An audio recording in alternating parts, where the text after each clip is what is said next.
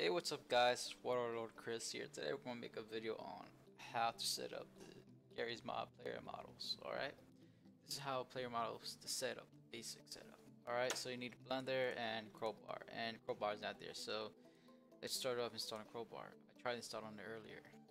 It, yeah, where you save it anywhere you want. You just make sure go your download, so you can always go Documents, back arrow here, back arrow again, go to Downloads, I downloaded so many ones because you know I did previous recordings that were failed. Okay, so then we got Blender Source Tools right here, like that.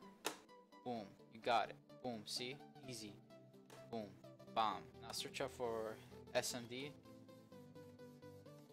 For me, it's probably already checked, but it'll be checked automatically. Not just like go over here. No, stop calling me. All right, so go over here. Go down, down, down, down, down. I hope that wasn't a copyright. Uh shit. Alright, so save user settings. Right? Right. Should be said, yo, this Nick, yo, this guy's not calling me. Alright, so then now, boom, boom, boom. I meant to say ninja. Alright, so after that should be done. Now you go to file and import. If you see SMD right here, source engine, that means you did it right and you got it there. So boom. This guy keep calling me, bro. He won't let me. Sorry, guys.